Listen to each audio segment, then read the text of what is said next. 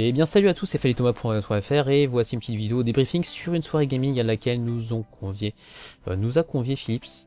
Euh, donc hier soir, enfin je pense que c'est hier soir selon la date à laquelle j'ai publié la vidéo, donc je pense le jour d'après. Et donc c'est une petite soirée pour nous présenter euh, leur dernière série de télévision. Donc pour information, oui, l'appartement était vraiment sympathique, l'accueil de Philips était au top et je n'ai pas vraiment envie de savoir le prix que les propriétaires ont déboursé pour se payer cet appartement. Parce que franchement, il est vraiment, vraiment, vraiment pas mal. Euh, mais bon, c'est pas tellement le sujet. Donc devant vos yeux, là où vous avez la Philips P7655 pouces, processeur quad-core, euh, télé 4K, la deuxième aussi, je ouais, bah, sûrement 4K aussi, mais il n'y avait pas de détails à côté, donc je ne sais pas vraiment euh, laquelle c'est. Donc je pense que Philips euh, nous, indiquera le, modèle dans les commentaires. C'est peut-être la Philips 7120, je ne sais pas, en 65 pouces peut-être. Et la dernière, c'est la Philips 7100 en 50, non, en 49 pouces. Euh, quad-core aussi, télé 4K aussi. Franchement, les, trois télés avaient des couleurs vraiment bonnes, euh, agréables à regarder. Que ce soit pour une utilisation dans la navigation dans les menus, un film aussi qui nous ont passé, là le match de foot, le match de tennis. Euh, je sais pas ce que j'ai. Euh, et donc les deux télés, les trois télés intègrent un système de qui s'appelle Ambilight. Donc c'est en fait c'est des, spots de lumière qui sont placés un peu partout dans la salle et ça permet d'éclairer la salle euh, des mêmes couleurs.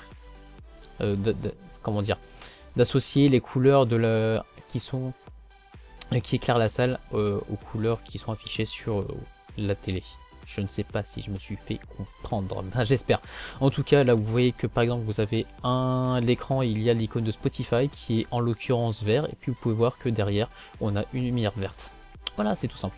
Et puis on a une lumière bleue sur le côté aussi, puis la lumière jaune qui éclaire la salle.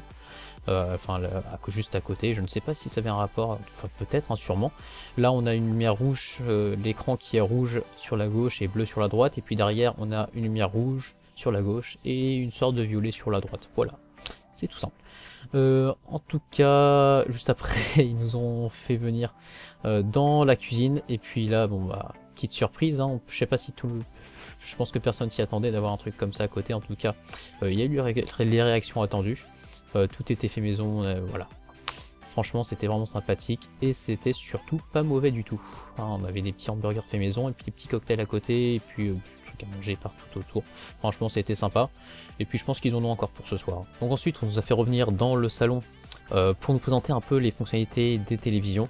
Euh, donc euh, elles sont sous Android TV, sous Android 5.0 Lollipop. Au niveau connectivité tout ça, c'est vraiment pas mal. Par contre, pour ce qui est des jeux, on a essayé Ripkid GP2 dessus et puis rapidement, j'ai essayé aussi Beach Buggy Racing. Et bon, c'est pas, les télés sont vraiment pas taillées pour les jeux. Autant euh, niveau fonctionnalité, elles sont sympas, l'écran est bon. Autant pour les jeux, le processeur quad-core, il suit pas tellement. Je sais pas ce que c'est comme processeur, mais bon voilà. Euh, Riptide GP2, on a eu des baisses euh, jusqu'à 15 FPS à vue d'œil. Et euh, quand il y avait pas mal de choses qui s'affichent à l'écran, et c'est vraiment pas tip top.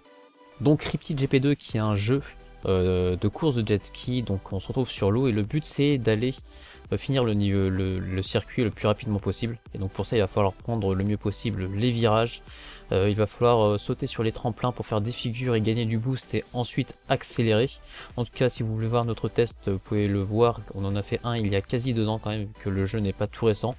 il a reçu des mises à jour depuis, notamment pour s'adapter en Full HD. Vous pouvez voir que même après deux ans, il est toujours beau. En tout cas, je vous invite à aller voir notre test du jeu.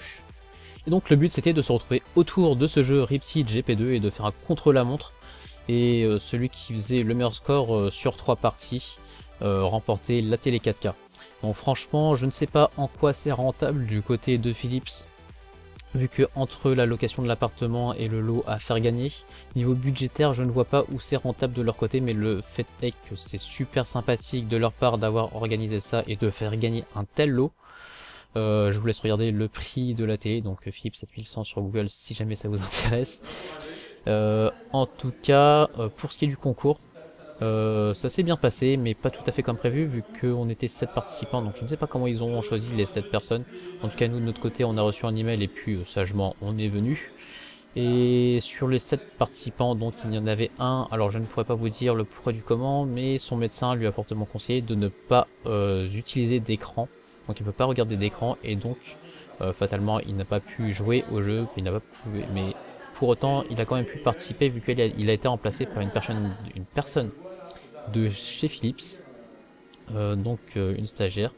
Attention, je n'ai absolument rien contre les stagiaires, hein, bien au contraire, mais le fait est qu'elle l'a remplacé et a priori elle connaissait déjà pas mal le jeu et le niveau en question, sachant que c'est un niveau vers la fin du jeu que tout le monde ne connaît pas. Euh, en l'occurrence, personne ne connaissait.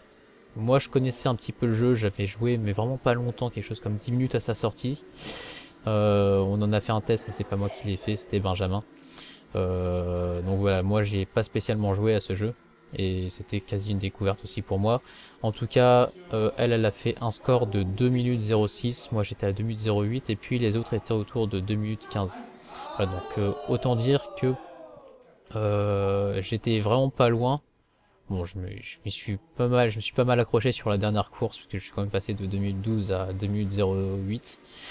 Et mais autant dire que si jamais elle n'avait pas participé à sa place, je pense que je serai reparti avec la télé et de ce point, euh, oui personnellement je suis un peu déçu, ça me restait un peu en travers de la gorge, surtout que finalement c'est quelqu'un qui ne pourra pas utiliser la télé et qui n'a pas joué, euh, qui l'a remporté.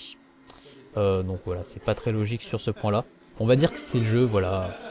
Sa famille pourra en profiter en tout cas, on est content pour eux.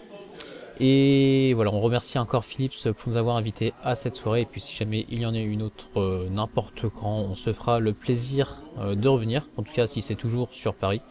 Euh, pour ma part, en tout cas, sinon ce sera peut-être quelqu'un d'autre de l'équipe qui, si par, par total hasard, habite pas loin. voilà, donc on viendra. et voilà, sur ce, je vous laisse et je vous dis à la prochaine.